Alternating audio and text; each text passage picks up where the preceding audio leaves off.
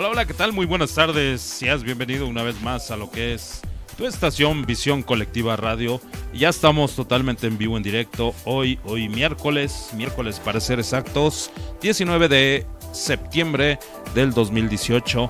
Hoy, hoy estamos recordando lo que pues hace exactamente pues un año, un año todos los de la Ciudad de México, también lo que es nuestros amigos de Puebla, nuestros amigos también de Morelos, pues vivieron lo que es el S19. Muy buenas tardes, mi estimado Marco Bárcenas, quien va a estar con nosotros el día de hoy. Tenemos un tema especial para ustedes y el teléfono en cabina 76 51 29 16. Ya está aquí con nosotros el titular de este programa, Contabilidad para no contadores. Y pues hoy tenemos un programa que pues eh, va a ser especial porque vamos a recordar un poquito de lo pues negativo que se vivió hace pues eh, en el transcurso de todo este año, mi estimado Marco, y pues prácticamente todo lo que ha sido este sismo del 19, 19 de septiembre.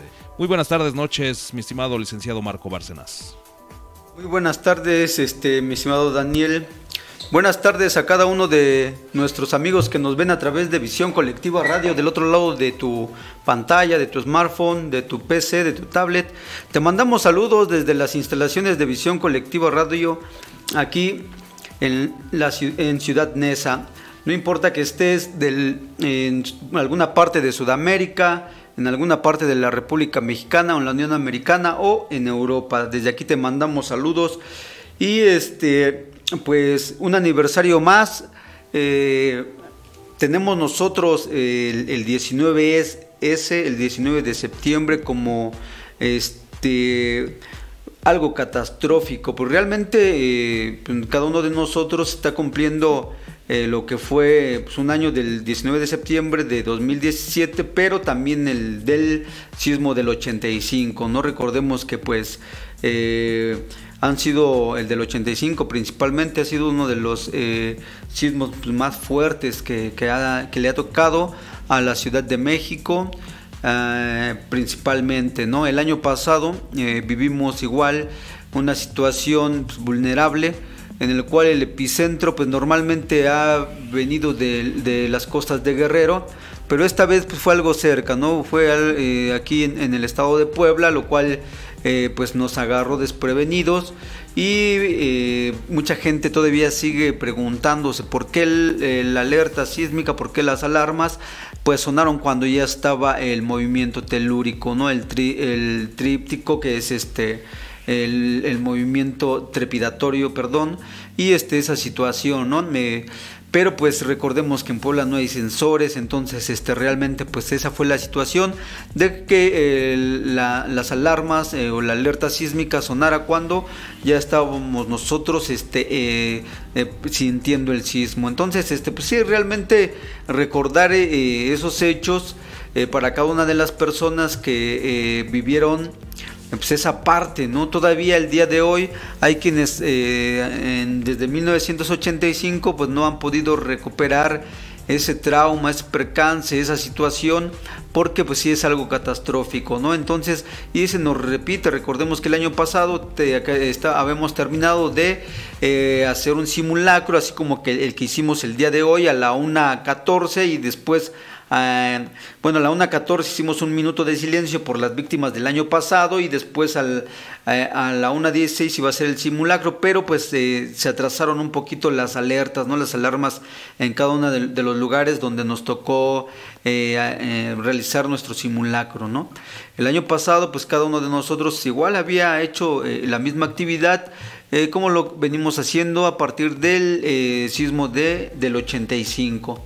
Entonces, este, pues esa, esa ocasión, el del 85, pues fue a las 7 de, 7 de la mañana, ¿no? 7 de fracción, pero el del año pasado, pues realmente eh, para cada uno de nosotros, los que habíamos hecho esa actividad, yo en lo personal les eh, podría decir que... Eh, pues siempre he participado, ¿no? Desde, me interesó participar eh, desde, la, desde el bachillerato. ¿Por qué? Porque eh, yo recuerdo una situación, pues tal vez traumante, en la cual estaba yo en mi laboratorio de química a las 7 de la mañana y este veo a mi compañero de enfrente y me dice que por qué estaba moviendo la mesa, le digo que yo no la estaba moviendo, estábamos haciendo unas actividades en química y nos quedamos viendo, vimos hacia los demás compañeros y empezamos a evacuar, pero cuando abrimos la puerta eh, del salón del laboratorio de química, no, no, se podía pasar, ¿no? Entonces, este, desde estábamos en el tercer piso y se había saturado de alumnos, entonces, este, todos eh, los alumnos que tenían en esos momentos laboratorio de química, entonces, este, empezamos a tratar de caminar, pero pues era imposible, todos salieron al mismo tiempo, ¿no? Entonces eh, las medidas de seguridad pues fueron modificándose a través del tiempo, en ese entonces este... Eh, recuerdo que en los edificios nada más habían unas escaleras de emergencia a partir de esa situación pues empezaron a abrirse más escaleras de emergencia por eh, los dos costados, ¿no? Ya sea que el edificio donde tú estés, tal vez puede ser que haya un ala norte y un ala sur y ahí va a haber eh, escaleras de emergencia. Entonces desde ahí nosotros vimos cómo eh, la secundaria y este, la primaria y los niños de la guardería pasaban la misma situación, ¿no? Entonces a partir de ahí yo me uní de, esa situación que me, que me tocó, yo me uní a, a las brigadas de rescate, ¿no? Empecé a ir a, los actos, a los simulacros, a recibir este, eh, orientación para cómo actuar, ¿no? Entonces, este, en, mm, pues, eh, actividades o en, en, zonas de alto riesgo, ¿no? Entonces, este, nosotros cada vez que hacíamos simulacro, pues a mí me tocaba estar siempre cerca de la puerta porque era guía, eh, tenía un distintivo, un chaleco y ciertas actividades. Entonces era los que, el que guiaba principalmente en el salón donde yo estuviera al grupo, a las personas que eh, estuvieran en esos momentos conmigo y los llevaba hasta la zona de seguridad cada vez que hacíamos simulacros, pues este, eh, me tocaba hacer esa actividad, ¿no? Traemos nuestros silbatos y pues este, muchas veces pues ya estábamos prácticamente eh, pues entrenados a esa situación. Entonces, eh, a partir de ese, momento, de esos años, estoy hablando como del 2000, como del 1990 y 93 más o menos, en el 93, 91 eh, eh, más o menos. Entonces, este, eh, desde entonces traté de, recibir esa parte, ¿no? ¿Por qué? Porque les comentaba ¿no? esa situación. Entonces, el año pasado, igual, de igual manera, estábamos haciendo nuestro simulacro con, con pues todas las medidas de seguridad que normalmente yo estoy ahí en la Roma. Entonces, este, pues habíamos terminado sin ningún, sin ningún problema, ¿no? El problema en, la Roma y en diferentes zonas de la ciudad o en diferentes zonas eh, eh, conurbadas en el Estado de México, el problema es de que muchas veces si pasa un camión de estos eh, de refrescos, de los grandes, o de estos que llevan un, este, en la parte trasera, un camión de carga, un tráiler, o un camión de los que, un camión pesado, ¿no? Eh, muchas veces mueve los, eh, por la situación o el terreno de la Ciudad de México, de las zonas conurbadas, que se supone que pues era un lago hace pues, muchos años, y este, cuando pasa un camión, pues realmente se siente el movimiento, no importa en la zona donde tú estés, eh, sientes ese ligero movimiento. Entonces, pues en la zona de, la, de, ahí de la Roma, normalmente cada vez que pasa un camión o, que, o cada vez que pasa este tipo de actividad, o este, eh, los camiones pesados o que pasan rápido o los camiones que traen atrás una bolda y van haciendo este mezcla o revoltura para alguna construcción o un tráiler de estos eh, de los pesados eh, se siembran los edificios no y se alcanza a percibir un poquito el movimiento no algunos edificios a partir del 85 pues fueron, habían sido modificados y algunos tienen gatos hidráulicos. Cuando pasa eh, eh, este, esta serie o este tipo de transporte, eh, pues realmente lo simbra, lo mueve. Lo podemos ver en la lámpara, lo podemos ver en, los garrafones de agua o en tu, en, tu en tu vaso de agua que tengas en esos momentos en tu escritorio o en donde tú pero se siente esa ligera sensación de el movimiento telúrico. Habíamos terminado entonces, les decía, ¿no? De hacer el sismo y todo.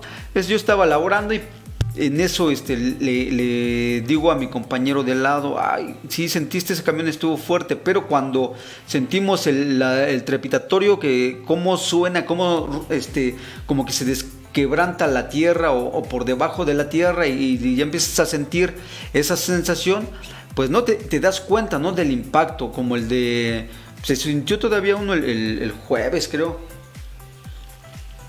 o el viernes con esas características, el que estuvo o el epicentro estuvo aquí en, en, este, en Iztacalco, ¿no? Así lo sentimos en esa ocasión, pero pues un poco más fuerte.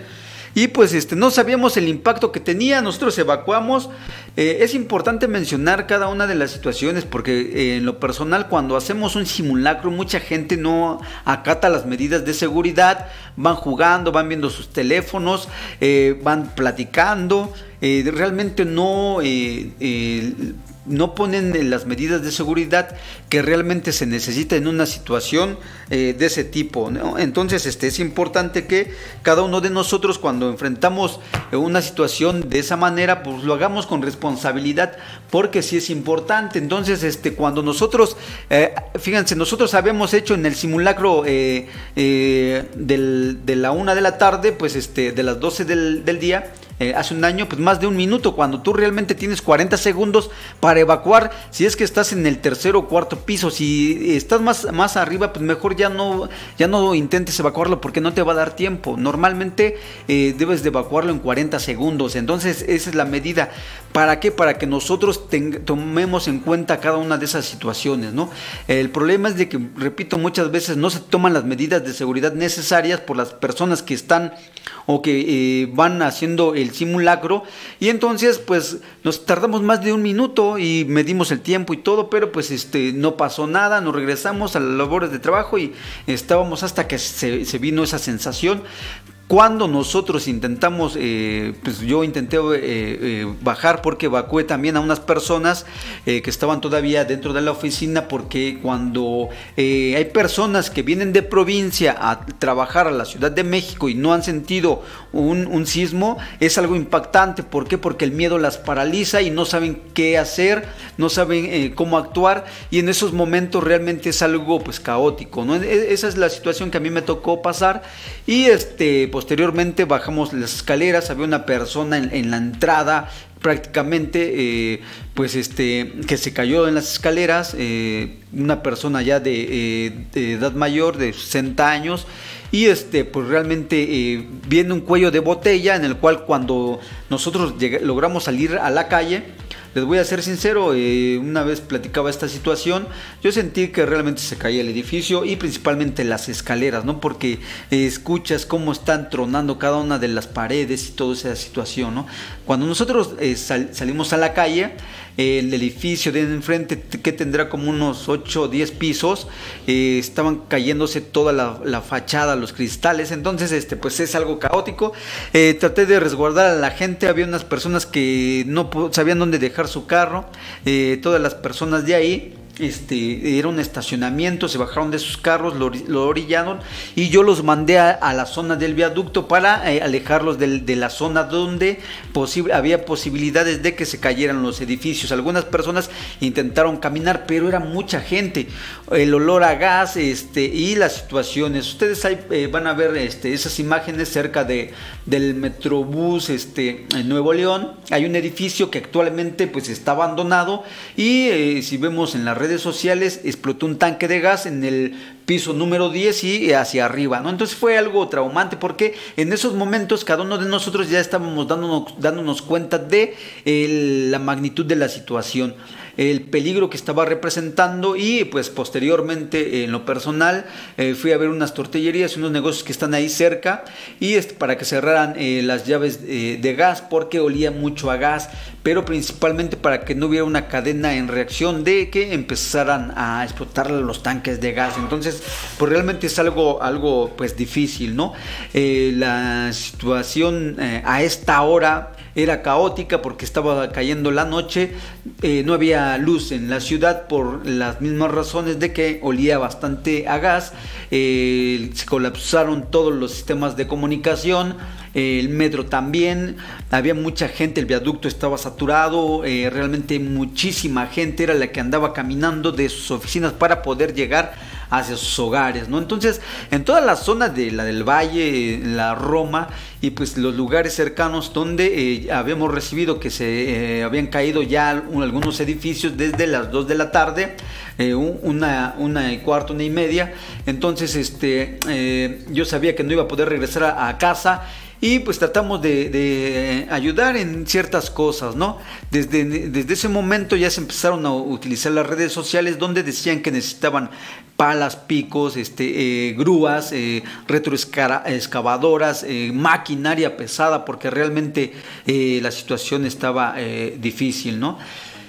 Lo más eh, melancólico para mí fue cuando empecé a escuchar, eh, como a las dos y media, tres de la tarde, el problema de, la escuela, ¿no? Omito el nombre porque todavía eh, hay personas que, este, pues es, es, difícil, ¿no? Todas las personas en Álvaro Obregón, en lo que fue la zona de Tlalpan, en la zona de Portales, Xochimilco, y este eh, los niños de, la escuela, ¿no? Principalmente, pues eh, yo sé que la pérdida de, de, cada uno de nuestros seres queridos en estas situaciones, pues es algo difícil, ¿no? Principalmente porque eh, pues no tenían comunicación y no había forma de, pues de, que, de poder rescatar a todos, ¿no? Principalmente.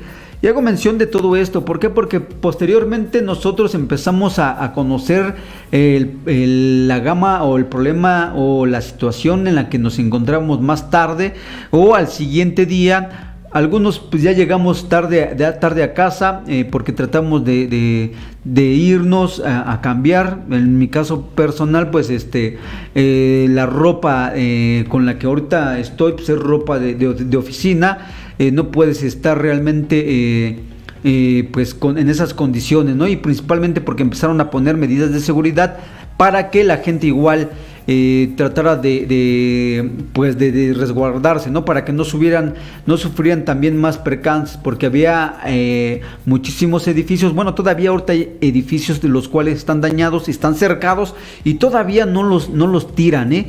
Todavía no los no hay demolición, pero están todavía parados. Ustedes acérquense a las calles de la Roma, en la Condesa, principalmente, ahorita estaba recordando esa eh, en la calle de, bueno, ahí en la Condesa, la Condesa era este, eh, ibas a tomar cafecito, el, ambiente nocturno, a leer un libro, este, había eh, muchísima eh, convivencia, ¿no?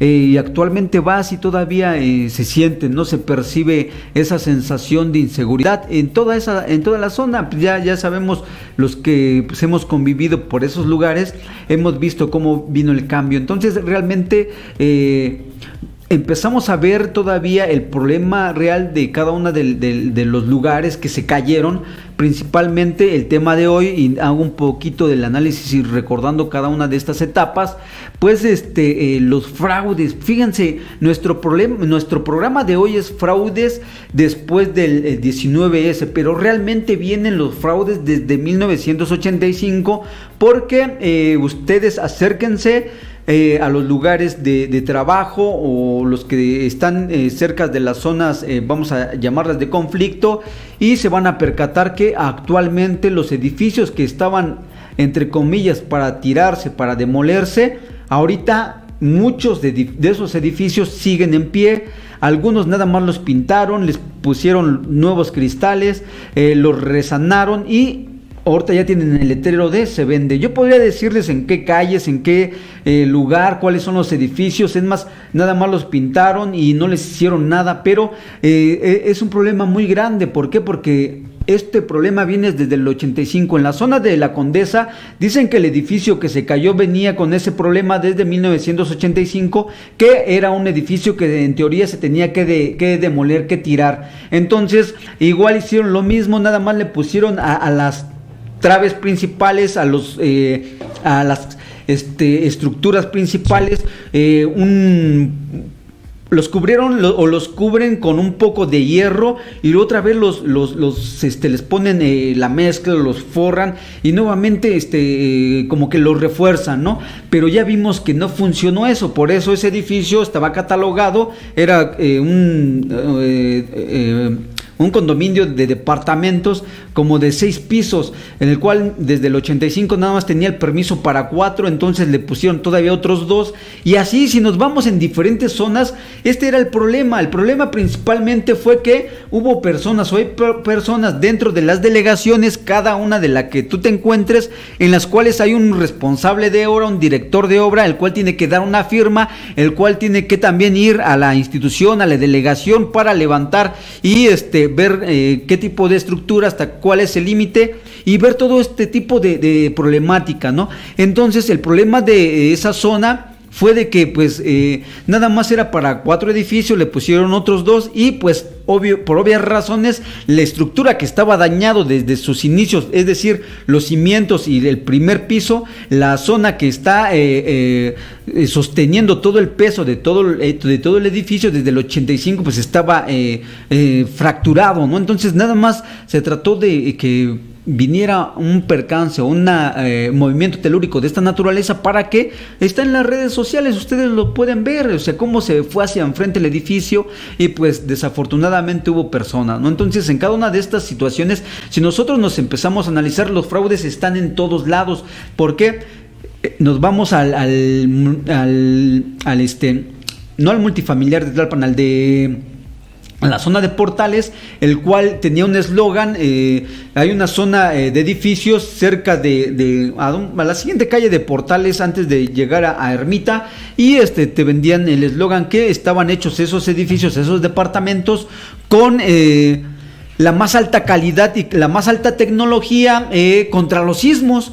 Cuando viene este percance, al siguiente día nos percatamos porque pues posteriormente llegó la noche y todo lo demás, empezamos a ver a través de las redes sociales, a través de todos los medios de comunicación, cómo la gente empezaba a tener esta situación, acababan de comprar sus departamentos en esa zona con esa inmobiliaria y resultó también, o sea, lo de siempre, ¿no? Que tienen hasta cierto límite, las estructuras deben de llevar un tipo de grosor, el material utilizado y pues resultó que era... Eh, material prefabricado, ¿no? Y todavía ahí estaban las fotos, ahí están los videos, ahí están las personas que empezaban a, a tratar de buscar a la inmobiliaria. La inmobiliaria decía que no, que fueran con los bancos, luego con las aseguradoras y luego con los responsables de obra, que realmente en esos momentos eran los que al final de cuentas, cuando, eh, bueno, al final de cuentas, cuando se termina eh, de eh, levantar, de hacer un edificio, llámese el nivel que sea, hay un responsable que da la autorización y que ve las medidas de seguridad, las estructuras, y es el que firma, ¿no? Entonces, hace un año, eh, a estas alturas, eh, a estas horas, todos estaban buscando a los responsables de obra de todos los edificios. Todas estas personas realmente, porque un, responsable de obra se supone que debe de cumplir con ciertas características, un ingeniero civil, un arquitecto civil, eh, debe de reunir eh, con ciertas características para que sea un personal autorizado el que dé el dictamen de que realmente el edificio, la casa, el condominio, eh, cuente con las medidas de, seguridad, ¿no? Entonces esta persona y su firma avala alrededor de 4, 6 o 8, 10 años, dependiendo la zona o dependiendo el trabajo que se haya realizado, ¿no? Entonces, eh, pues esas personas se volvieron famosas y les empezaron a buscarlas en, cada uno de los edificios dañados principalmente. Recordemos la zona de Azcapotzalco, son todas estas, el multifamiliar de Tlalpan también. Entonces, desafortunadamente, todos este, estos percances, pues se vieron por este tipo de situaciones, ¿no? Algunos donde los responsables de obra, pues realmente eh, las delegaciones, pues hicieron todo, todos estos tipos de, de estos trámites, pues no con los mejores lineamientos. El problema para eh, las escuelas, principalmente lo que nosotros empezamos a, ver a través de los medios de comunicación, pues este, era esa parte, ¿no? De que eh, tenía hasta cierto límite, eh, cierto límite, tres este, estructuras, es decir, tres pisos o dos pisos. Y el problema es de que arriba había pues un departamento, había ciertas características, había gas, había, es decir, la estructura también no estaba diseñada para recibir tanto peso, ¿no? Y ya cuando vienen las investigaciones resultó que pues no estaban autorizados, no habían pedido permiso, los permisos eran chuecos, el responsable de obra ni existía, la dueña la dueña anda desaparecida actualmente, tiene alrededor de una demanda colectiva, eh, eh, se supone que habían como 30 personas afectadas, al final de cuentas hubo 16 personas y por ahí en las redes sociales, en los juzgados, hubo una, 16 eh, personas que se atrevieron a hacer una demanda colectiva contra esta persona, esta persona se supone que anda prófuga de la justicia, ¿por qué? Porque realmente el daño que le causó, el prejuicio que le causó a terceras personas, pues es realmente grave, ¿no? ¿Por qué? Porque hubo personitas que eh, pues fallecieron desafortunadamente, ¿no? Uno va con toda la confianza del mundo y deja a, su hijo sin saber lo que vaya a pasar, pero desafortunadamente las estructuras no estaban, los espacios no estaban catalogados también por protección, civil, por la delegación, por toda esta serie de trámites eh, para el uso de suelo también, este, los límites que cada uno de, en cada una de las delegaciones en las zonas, si dicen que nada más deben de ser hasta tres pisos o hasta cuatro o hasta dos o no o está prohibido construir más de tres pisos, pues desafortunadamente hay gente que no hace caso de todo este tipo de, acciones o de todo este tipo de reglamentos. Y nosotros podemos ver que es el problema principalmente de la ciudad, ¿no? Eh, el construir en zonas donde realmente está prohibido. Si de por sí las, la zona de la Ciudad de México, la zona conurbada, es una zona de eh, pues, eh, sísmica y principalmente porque pues recordemos que el lugar, el, fango, que anteriormente hace años era un lago, y pues toda esa situación ha llevado a que el hundimiento de la ciudad, a que posteriormente en cada una de las delegaciones el reacomodo de, de también de las placas tectónicas en las zonas de, de Oaxaca, en las zonas de, Guerrero, de Michoacán. Entonces, pues realmente vemos que nosotros estamos en el cinturón de fuego que realmente eh, pues es una zona eh, sísmica, ¿no? Y pues este, cada una de, de, los estados que vivió su propia situación, eh, recordemos que días antes de, hace un año, en la zona de Oaxaca, pues habían eh, percibido también eh, esta, eh, el sismo, ¿no? De la zona de Oaxaca, de la zona del Istmo, y pues ellos fueron los, los primeros. Desafortunadamente, cuando viene la, la, zona, en la, en la zona centro, en la Ciudad de México, pues dejan de brindarles un poco la ayuda a ellos para trasladarse la mayor parte de los, los de la ayuda pues a la zona eh, centro, ¿no? Entonces, eh, este eh, conflicto de siempre, ¿no? De que por qué a los más vulnerables y pues realmente, podemos ver, ¿no? Porque realmente también esta situación, ¿no? De la zona centro, la zona económica principalmente activa y todo este tipo de, de cosas, ¿no? Entonces, pues realmente el hablar de fraudes después del sismo nosotros podemos ver que hay varias situaciones. Desde la persona que elabora los proyectos, desde la zona, el terreno en, donde se está comprando, se está construyendo, ustedes pueden darse una vuelta por cualquier colonia de la delegación donde tú te encuentres en estos momentos y está proliferando o eh, pues la situación económica de eh, hacer y vender departamentos creo que es muy remunerable que todo el mundo está haciendo principalmente las constructoras pues hay constructoras que nada más están hechas para un proyecto, es decir, que nada más tienen un año de vida y después desaparecen y cuando tú buscas a la constructora que te vendió, pues ya no está porque ya cumplió con su ciclo de vida. Entonces mucha gente se está encontrando con o se encontró con esta situación. Y pues este, si estás del otro lado de la pantalla, también platícanos qué estabas haciendo, dónde estabas, cuál fue tu problemática y este pues para darle igual continuidad, porque realmente es algo importante para cada uno de nosotros que vivimos esta situación hace un año. Entonces, y también desde el 85, ahorita vamos a recordar eh, por ahí un fraude eh, eh, televisivo de noticia que desde el 85 y se repitió el año pasado, ¿no? Y más sin embargo, pues eh, a lo mejor se va a seguir repitiendo, ¿no? No lo sé. Pero pues este, eh, adelante mi estimado Daniel, si tienes saludos, si quieres comentarios, pues este, adelante. Sí, bueno, pues gracias a todos los que nos están siguiendo en este momento.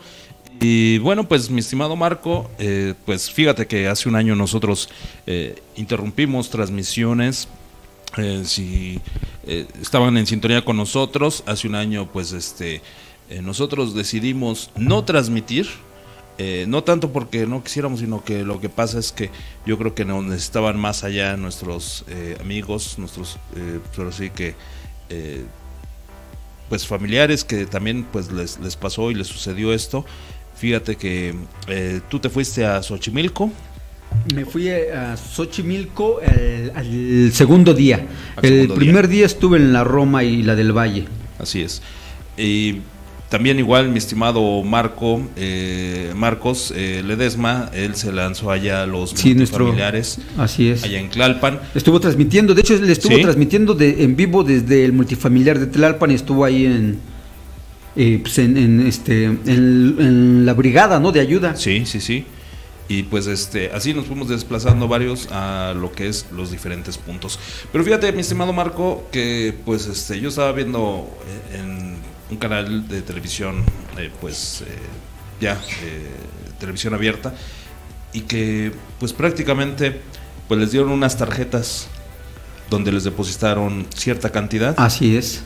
Y qué lamentable Qué lamentable que algunos tuvieron que hacer eh, pues fraudes porque yo estaba viendo allá también eh, nuestros compañeros de eh, nuestros amigos de Oaxaca de Chiapas y que pues prácticamente pues abusaron de ellos porque ni siquiera les construyeron según era para que pudieran construirles. Y pues prácticamente les retiraron el dinero sí hicieron el depósito el de transferencia más bien dicho y que según con ese dinero, bueno, pues les iban a, este, a construir una inmobiliaria y al fin y al cabo no fue así. Así es, fíjate, bueno, eh, nosotros estamos empezando eh, principalmente ahorita por la burocracia, los trámites en las delegaciones, pero pues ya estás tocando el tema principal después del 19 eh, de septiembre de hace un año, empezó a llegar la ayuda humanitaria. Ya sabemos que eh, hay diferentes medios a través de las redes sociales, diferentes países, eh, diferentes embajadas. diferentes personalidades del medio del espectáculo, tanto en México como en el extranjero, cada uno de ellos o cada una de las personas, hasta los youtubers, hasta hay personas que empezaron a crear su propio fideicomiso para que ahí les depositaran. Este, por ahí hay todavía una disputa entre los topos de eh, realmente los del 1985, los del multifamiliar de Tlatelolco, unos que posiblemente son los reales, otros que dicen que no, y podemos encontrarlos en cada una de las redes sociales el cual había un llamado también tan solo para, para ellos, en donde uno de los brigadistas de los topos eh, decía, ¿saben qué? No le depositen a esa cuenta, ¿por qué? Porque él ya no pertenece a esta brigada y daba nombres y daba este, una serie de cosas, ¿no? Entonces realmente hubo podría decir yo que mucha gente en cual empezó a hacer a lo mejor un fideicomiso, empezó a abrir una cuenta bancaria para que se le hicieran depósitos, porque también iba a hacer este, donaciones, porque iba a ayudarle a los damnificados. Por ahí este, la iniciativa privada empezaron a hacer donaciones, el ingeniero eh, Slim también, este, en grandes empresas, este, los eh, Televisa, TV Azteca, eh, todos abrieron diferentes canales para recaudar fondos y realmente hubo muchísimo dinero. Me refiero a muchísimo dinero porque hablar de 50, de 100 millones o 500 millones de pesos, el gobierno federal abrió también unas, este, eh, bueno, en esos momentos eh, abrieron o eh, entraron en sesión para abrir el Fondo Nacional de Desastre, cuándo es lo que se iba a utilizar, cuándo se tenía o cuándo estaba, cuánto es lo que se tenía disponible y todo ese eh, tipo de, cosas, ¿no? ¿Por qué? Porque realmente es importante que cada uno de nosotros nos empecemos a dar cuenta que hasta el día de hoy, hoy 19 eh, de septiembre, un año después, no se ha puesto una sola piedra en algunas instituciones o en algunos lugares donde se desplomaron los multifamiliares, las casas, los edificios y el día de hoy tanto eh, en lo que es la zona del Istmo, eh, lo que es la Ciudad de México, lo que es Cuernavaca, bueno, Morelos, eh, lo que es este la zona de Puebla, entonces, de todo lo que se reunió, que recaudó, que eh, hay una lista grande y nosotros podemos empezar a hacer una suma, a ver cuánto fue lo que donó el Chicharito, ¿no? Pues dice en las redes sociales y dijo el Chicharito que él había donado 3 millones de pesos y después se juntaron más este eh, deportistas y empezaron a donar de un millón, de 100 mil, de 500 mil pesos. Eh, ¿Cuánto fue lo de Salma Hayek? Salma Hayek 100 mil dólares. Este, ¿Cuánto donó?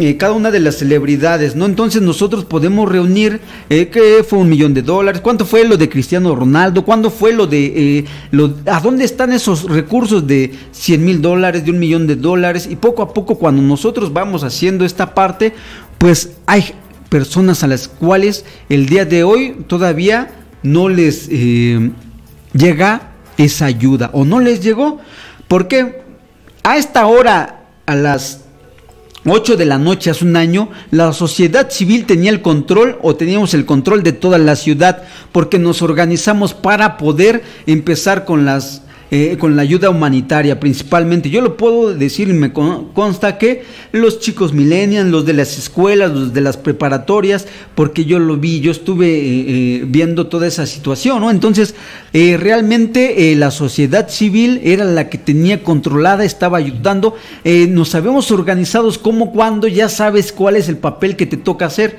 Entonces, cada uno de nosotros, cada una de las personas, las amas de casa que llegaban con los sándwiches, con la fruta, con eh, eh, lo único que tenían en sus casas, algunas personas, un kilo de naranjas o el agua eh, de sabor, el agua de limón que habían hecho y, empezarlas a servir, porque realmente fue lo que, lo que estaba pasando, ¿no? posteriormente, cuando viene ya la noche, realmente sí es algo difícil, porque empezaron a decir que eh, principalmente por resguardar las zonas, por la delincuencia y todo este tipo de cosas. Pero pues realmente eh, fue esa parte, ¿no? La, eh, la organización, cómo la sociedad civil se empieza a organizar, como que de repente todos sabías qué es lo que te tocaba hacer y empezaste o empezamos a hacer esa parte, esa pequeña labor. Cuando desde el extranjero, cuando cada una de las personas estaba empezando a mandar ese importe, ¿no?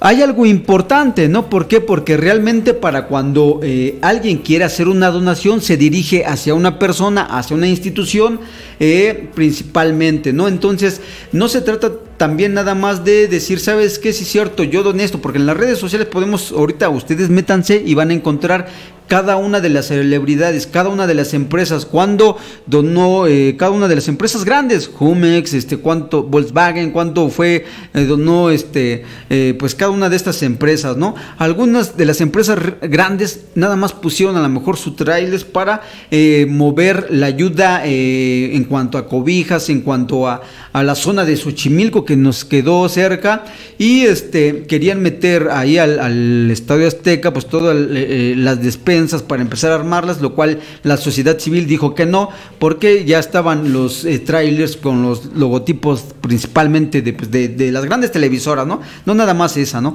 Y que querían llevar la ayuda humanitaria pues allá a, las zonas de Xochimilco, a las zonas de, Morelos, principalmente donde se quedaron sin agua el segundo día. En algunas zonas de por sí no había agua, desde Xochimilco para arriba, las zonas más afectadas, entonces por lo menos necesitaba la gente agua, porque se colapsaron los eh, los sistemas de, eh, que distribuyen el agua en la Ciudad de México y entonces si desde unos días antes ya eh, no había agua, pues la gente no tenía esos recursos. Entonces se empezó a organizar todo este tipo de cuestiones, pero les hacía mención de esta parte, ¿no? Como mucha gente, muchos políticos, principalmente todos querían hacer pues uso de esos de eso que se donó, que donó la sociedad civil para ir y decir, ¿saben qué? Esto viene en representación de fulano de tal, porque recordemos que venía una época electoral en donde la gente estaba, nos estábamos preparando para el evento de, eh, del mes de julio, ¿no? Entonces, pues principalmente, pues todos querían hacer uso de todas esas donaciones, desde las despensas, las cobijas, eh, no nada más lo que fue en efectivo. Entonces desde ahí nosotros empezamos a ver, ¿no? O sea, cómo la gente se empieza a organizar y empieza a decir, ¿saben qué? No queremos que entre eh, todos esos eh, recursos, todos esos viáticos, todo eso que está donando la gente, las botellas de agua, la comida, los hidratantes, el alcohol, eh, me refiero al alcohol para las heridas, eh, todo lo que realmente eh, las gasas, el algodón, la comida, principalmente los productos perecederos, este, lo que venía también enlatado, cómo empezar a armar cada una de las despensas y realmente toda esa mercancía, pues no queríamos que fuera mal utilizada porque recordemos que por ahí todavía habían bodegas de otros eventos pasados. Entonces cuando uno puede decir, ¿sabes qué? Es que eh, eh, yo fui y doné pues cinco latas de, atún, pero ya cuando lo multiplicas por 100, por 500, por un millón de personas que donaron el, mismo, el mismo bien, el mismo artículo, es una cantidad impresionante. Entonces se puede, se puede o se hacía antes mal uso de todos esos bienes. Entonces fue lo que decidió la sociedad civil organizarse y llevarlos principalmente a las zonas y ver que se entregara. Por ahí también hay videos donde pues realmente hubo muchísimos problemas porque realmente pues no querían. Eh, que, se, que se hiciera de esta manera, ¿no? Porque por la situación económica y política que se estaba viviendo hace un año y pues el resultado pues ya no les puedo decir este, cómo les fue a todos los que habían hecho siempre mal de todas estas eh, donaciones, ¿no? Pero el problema principalmente que ahorita o que actualmente tenemos es que todo, toda la donación en efectivo, pues realmente, eh, voy a decirlo así, los miles de millones o eh, lo que se pudo recaudar en efectivo, pues eh, no se ha llegado todavía, no se ha levantado un edificio como para que digan, saben que esto fue de todas las donaciones que se hicieron a nivel internacional en efectivo para eh, los damnificados. Entonces, pues realmente esa parte no e, es importante. El día de hoy mucha gente se manifestó en cada uno de los multifamiliares, en cada uno de los edificios que colapsaron y se manifestaron y empezaron a decir, ¿saben qué? No nos llegaron los recursos. ¿Qué hicieron con todo el dinero? Todavía el día de hoy, a esta hora, no hay respuesta del gobierno federal. Está todavía eh, el Senado de la República, eh, habían autorizado lo que les decía para eh, el, el Fondo Nacional de Desastres y pues esos importes de 50 millones, ahorita viene todavía una eh, auditoría para ver dónde quedaron esos recursos, pues realmente eh, eh, es algo importante, ¿no? Entonces, más adelante, en unos días, yo creo que va, van a sacar a la luz también principalmente todo este tipo de, problemática, ¿no? De fraudes a través de que hubo personas a las que les prometieron que les iban a entregar, como decía el amigo Daniel, este, a través de una tarjeta, les dijeron que les iban a entregar 15 mil pesos eh, por ahí como octubre, noviembre, para que pudieran eh, pagar una renta pero pues todo este tipo de cosas, ¿no? Entonces realmente todas las personas afectadas el día de hoy a esta hora pues no recibieron sus recursos. Ah, por ahí yo vi en las redes sociales que sí se le estaba haciendo un multifamiliar allá en la zona de eh, eh, por vaqueritos, porque ya también hubo edificios mm, dañados, multifamiliares dañados, en los cuales pues, la gente no podía regresar a esos edificios, entonces los evacuaron y allá estaban haciendo unos. Todo ese dinero que se recaudó, yo vi por ahí en el mes de enero, febrero, si ustedes tienen su recibo de Telmex, en el recibo del mes de enero, búsquenlo y en la parte de abajo viene, se hizo un fideicomiso por parte de... Eh, el dueño y por parte de todas sus empresas, por parte de las personas que eh, done usted a través de su línea telefónica, no sé, 50, 100, 20 o 30 pesos, lo que ustedes quisieran, y hay una cantidad impresionante, impresionante de verdad. Se supone que estos recursos pues actualmente van a ser eh, esto todo es como que un poco más creíble. ¿Por qué? Porque es un fideicomiso que se está encargado el ingeniero, está un despacho grande. Eh, ahora sí que auditando estos recursos para ver la mejor distribución. Pero cuando yo vi este importe, eh, mm, les voy a decir la verdad, no alcanzaba a leer y eso que leo los números, es decir, la cifra tan grande. Entonces busquen nada más por ahí este en el recibo del mes de enero o del mes de febrero de 2018 y se van a, impactar de la cantidad que se había recaudado para por parte de sus empresas de él y por parte de los que usan eh, este, esa línea telefónica, ¿no? Entonces, esos recursos se supone que van a llegar próximamente porque esta es una institución, es la iniciativa privada, entonces ellos son aparte, pero todos los demás, hubo personas, youtubers que también abrieron sus cuentas y les depositaron y todo eso, actualmente pues mucha gente los ha estado cuestionando a, través de eh, eh, los diferentes medios de comunicación, a través de las televisoras, a través de... Eh, Facebook, a través de Twitter, a través de todas estas plataformas que hicieron con los recursos y hasta el día de hoy pues no han respondido correctamente ni han dicho, miren, yo con estos recursos junté todo esto y levanté este multifamiliar o le ayudé a esta persona a levantar su casa, a levantar su barda. En lo personal yo les podría decir, nosotros fuimos eh, al tercer día, ya había muchísima gente, estuvimos en, toda la zona centro, tuvimos que irnos a la zona de Xochimilco y después del fin de semana bueno, hicimos una brigada con mis amigos eh, de la zona donde vivo y ahí están todavía ellos, eh, pusieron sus carros, lo que se pudo recaudar, nos fuimos hasta las zonas casi eh, llegando a esta zona de, Morelos, ¿no? de este lado de Cuautla, donde pudimos percatarnos de que pues la ayuda para allá no se iba, no llegó. Entonces nosotros estuvimos en esa zona, vimos cómo la gente también necesitaba todos estos recursos principalmente, ¿no? Hay quienes, fíjense, hubo personas que amablemente dijeron, mire joven, este, yo ya tengo eh, eh, para comer ahorita esos tres o cuatro días porque ya vinieron a dejarnos, pero hay gente más necesitada, más arriba, les pedimos que les lleven agua, porque esto que nos van a dejar la ropa o las chamarras o la comida, eh, hay gente más arriba que no les ha llegado. Fíjense, todavía personas con, con ese conocimiento, con esa conciencia, y pues estuvimos trabajando nosotros, no lo poco que, que se pudo hacer.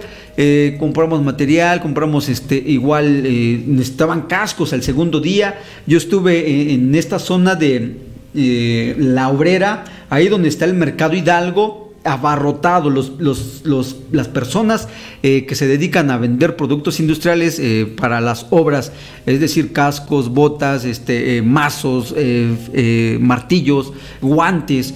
De verdad, hubo personas que nos dijeron, ¿saben qué? Este, vale, no sé, los guantes a 25 pesos, los vamos a, a dejar a 18 pesos para contribuir, porque hay mucha gente. ya el tercer día ya estaba, pues, ¿cómo puedo decirlo? Eh, la Guardia Nacional, ¿no? La Guardia Nacional y ya no te estaba permitiendo entrar sin las medidas de seguridad porque hubo muchas personas que eh, sufrieron accidentes, se les cayó una piedra, una fractura por no llevar las medidas de seguridad, el zapato adecuado, los guantes, el casco y principalmente tu chaleco, ¿no? ¿Por qué? Porque realmente sí era importante, ¿no? Y ya, ya estaban un poco, pero hasta el tercer día. Entonces, realmente esas, esas cuestiones como sociedad civil va a quedar catalogado como un, eh, rebasamos nuestras medidas de seguridad de gobierno federal porque tardó eh, alrededor de 24 horas en llegar, ¿no? En responder. Realmente es algo eh, colapsante, ¿no? Y pues todos estos fraudes que el día de hoy realmente no les ha llegado a cada una de las personas que vivan en algún multifamiliar, pues están al orden del día, ¿no? Y los fraudes, les decía, más fuertes es de que todavía ahorita están los edificios que se supone que iban a demoler, nada más los pintaron y están ahorita en se renta. Pero hay mucha gente que desafortunadamente las rentas, eh, es decir, se vinieron para abajo, la venta de inmuebles y los precios también eh, han caído, ¿no? En todas estas zonas afectadas, porque ya vimos que hay un corredor sísmico. Entonces, pues hoy, eh, actualmente con todos los medios de comunicación y todo, toda esta infraestructura que se tiene para poder medir todas estas cuestiones, pues realmente hay zonas realmente muy seguras y hay gente que de la zona centro mejor se fue a esas zonas donde realmente los sismos pues eh, no se alcanzan muchas veces ni a percibir. Otras personas fueron ya para el Estado de México en diferentes partes, pero pues está esta situación. Y pues el fraude que nos, nos tuvo a cada uno de nosotros desde el 85, que se volvió a repetir el año pasado, fue a través de las televisoras y a través de los medios de comunicación, a través de estos noticieros, ¿no, mi estimado Daniel? Que jugaron realmente con el sentimiento, con el sentir, eh, con las emociones de las personas, miles. Eh, fue a nivel mundial, todas las personas estaban con... Eh, hay un, hay un este, una frase que, que muy mexicana, a toda la gente la tenían con Jesús en la boca, por esta niña que estaban a punto de encontrar. Digo, realmente fue algo, algo, este, pues, mm, pues difícil, ¿no? Pero pues eh, recordemos que desde el 85 ya se había repetido esa situación, mi estimado Daniel, y cuentan quienes eh, saben todo este tipo de estrategias de marketing es eh, para que también la gente pues empiece un poco a, a dialogar al trauma y pues un distractor también. Por ahí cuentan que un personaje importante de la religión fue a allá al, al, edificio que es bueno a la escuela más bien a lo mejor cuentan eh, no sé si sea verdad no me consta que fue a recoger a lo mejor algunos bienes que tenía importantes ahí, porque entre comillas, la dueña que anda prófuga era un prestanombre de esta persona y pues este no sé si sea cierto, ¿no? Pero eso es lo que decían en los medios de comunicación. Entonces, este, pues esta persona pues realmente también estuvo involucrada. Y lo mismo, ¿no? Se repitió en el 85. Y pues el día de hoy tenemos esa noticia, mi estimado Daniel.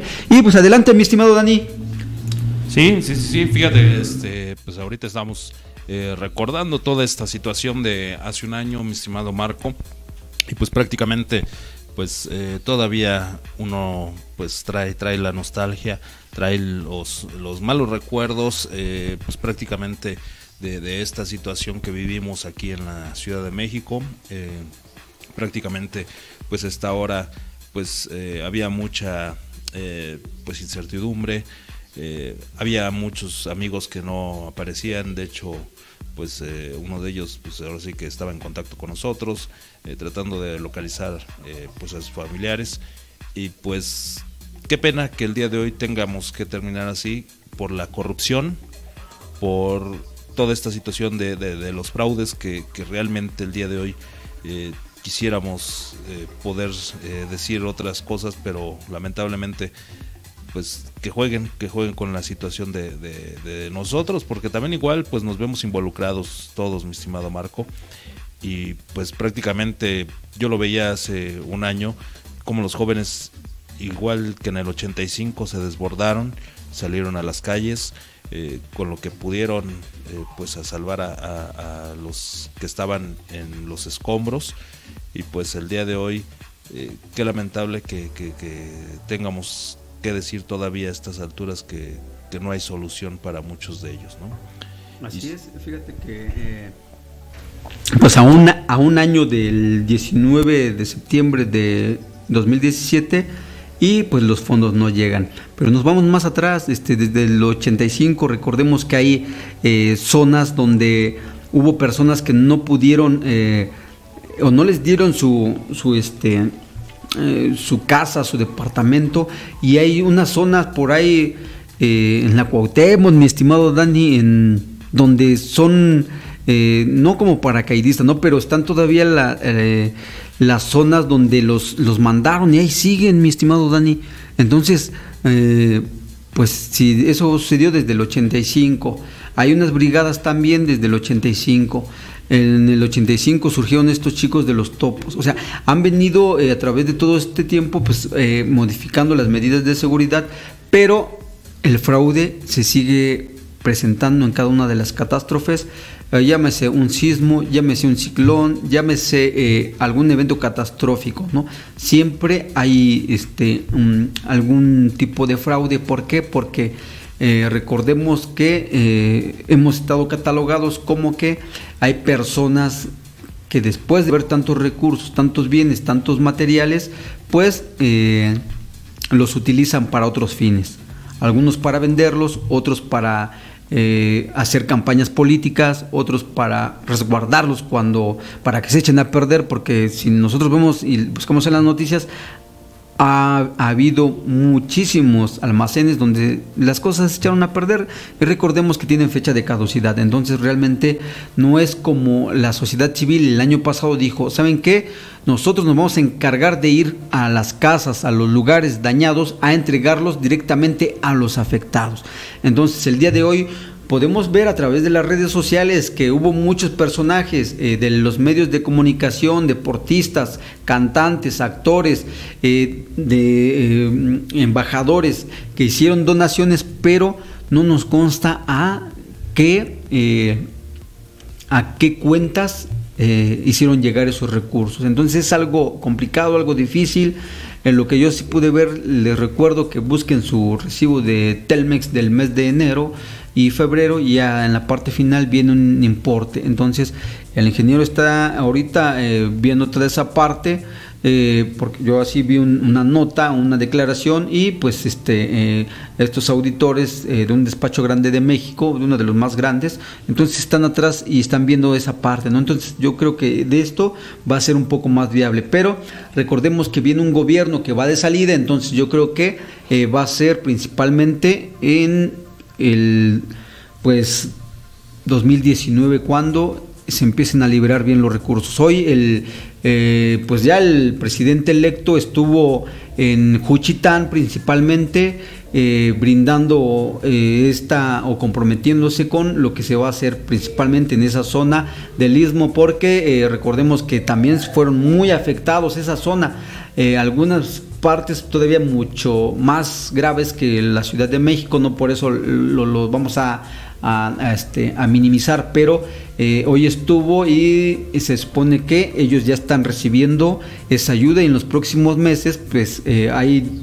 dieron este, una serie de, planteamientos de lo que se va a hacer y desde la zona del istmo hacia eh, Chiapas también. Entonces, pues eh, es lo que se tiene eh, ya planeado, ¿no? Porque realmente ya dejó unas personas, eh, ahí está en las redes sociales, el día de hoy estuvo como a las 12 del día, eh, entonces, pues ya están comprometidos. Hubo eh, diferentes personas en la zona del istmo que se han organizado. Entonces, ellos desde el año pasado eh, han recibido ayuda por parte de otras instituciones y han empezado a levantarse. Entonces, pero a través de, esta parte que ahorita ya se comprometió, y les repito, pues ahí, ahí está, ¿no? les mandamos saludos a cada una de las personas que estén en esa zona y pues que nos puedan constatar también. Hoy, hoy día o actualmente cada una de las delegaciones tiene un una em, pues una organización donde eh, puedes acudir para ver cuándo se van a hacer llegar los recursos. Entonces yo creo que es importante que estés informado, que asistas a tus juntas, porque hay que ver principalmente, yo creo que estaban dejando pasar esta parte, ¿no? Principalmente la situación política y económica que acabamos de pasar entonces yo creo que todo eso se lo van a dejar al nuevo gobierno. Entonces eh, vamos a ver qué, pasa eh, a partir del en los próximos meses o el próximo año, pero yo creo que está pronto eh, por llegar, mi estimado Dani. Entonces, pues vamos a, a, empezar a despedirnos sin antes, este, pues si tú eh, todavía eh, sientes temor eh, de, cada una de estas situaciones porque el trauma está ahí, pues con mucha razón, ¿no? Nosotros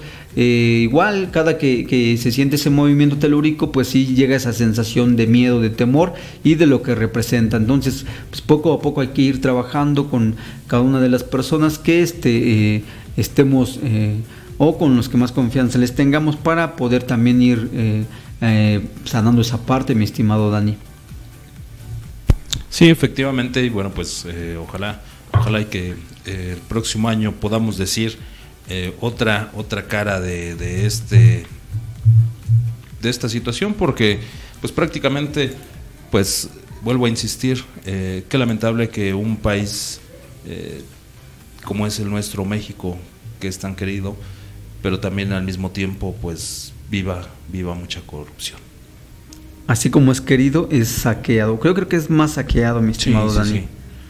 Pero bueno, entonces, eh, de antemano, este, yo te mando un fuerte abrazo, buena vibra, no importa dónde estés. Hay muchas zonas del cinturón de fuego. Recordemos que en parte de Sudamérica también ha habido sismos. También cada uno de nosotros en, eh, en pues en Europa, en todo, en partes de Latinoamérica, en Estados Unidos, pues hay que estar preparados para cualquier catástrofe. Realmente es importante que cada uno de nosotros resguarde sus bienes, eh, sus documentos. Eh, recordemos que debemos de tener una lámpara a la mano, un, radio con pilas, pero principalmente saber dónde están nuestros documentos. Recordemos que cada una de las personas, pues eh, ese fue el problema, ¿no? Que hasta el día de hoy, pues por no tener los documentos en regla, pues no han podido también este, brindárseles la ayuda. Entonces, eh, nosotros te mandamos esa recomendación, te mandamos un fuerte abrazo y si sufriste la pérdida de, de algún ser querido el año pasado, nuestro más sentido pésame, ¿no? Entonces nosotros eh, vamos a estar eh, siguiendo aquí, transmitiendo, vamos a dar otros temas. Yo recordaba también, mi estimado Dani, que te mandaba un mensaje el año pasado donde te decía, ¿sabes qué? Se colapsó la ciudad y no creo que haya transmisión, porque ese día fue martes, si no recuerdo, entonces estábamos en esa parte, ¿no? Pero este, así, así sucedieron las cosas, ¿no?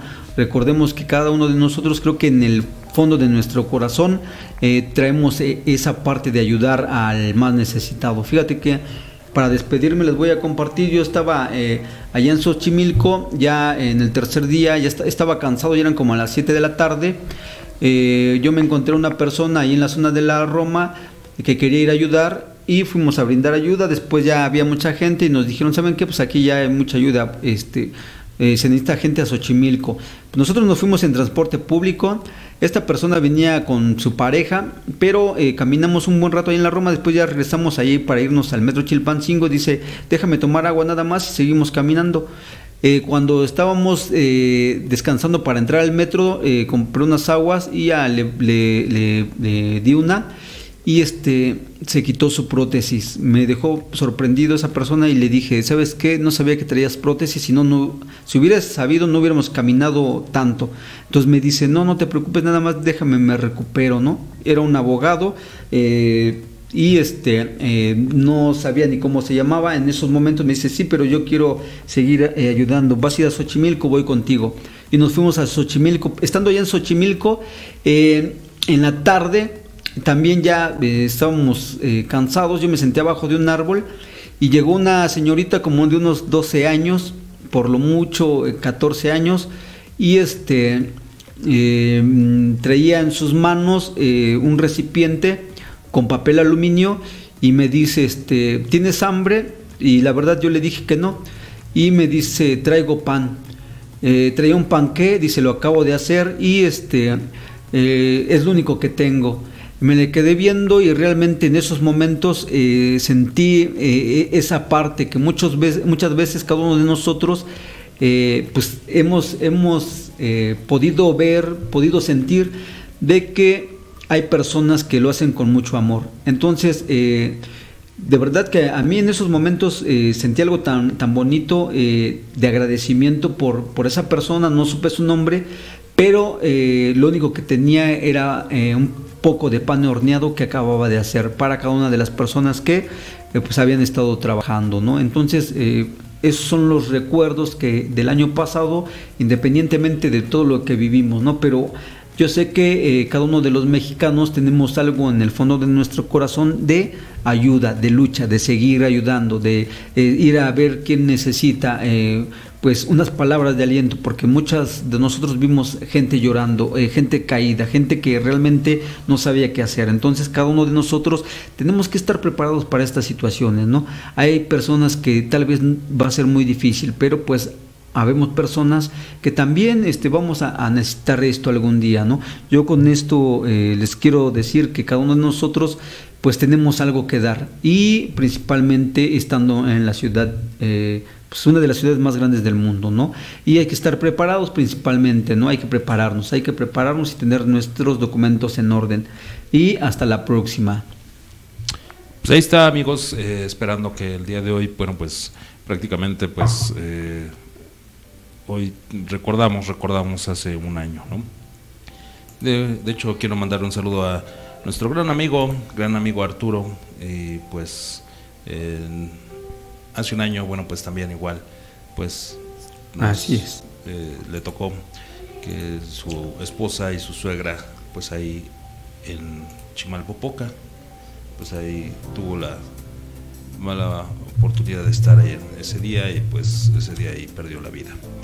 Pues de mi parte es todo, les agradezco y pues eh, no me queda más que agradecerles y nos vemos la próxima semana eh, con otro tema, mi estimado Marco. Claro que sí. Eh, pues ahorita lo que más está de moda y seguramente tienes dudas, eh, próximamente vamos a tocar nuevamente eh, el tema del CFDI 3.3 y este todo lo que conlleva, ¿no? Recordemos, de una vez te doy un adelanto que hubo una prórroga, recordemos que ya iba a iniciar todo a partir del primero de septiembre el último día para todas las nuevas actualizaciones será el 31 de agosto, pero pues salió la prórroga y pues nuevamente el día de ayer salió un nuevo comunicado en el diario oficial en el cual pues hay nuevas formas de emitir un CFDI. Entonces eh, pues vamos a tener que tomar ese tema ahí. Si tienes dudas, si te interesa algún tema, también comunícate con nosotros, mándanos un inbox, comunícate, háblanos por teléfono aquí a Visión Colectiva Radio.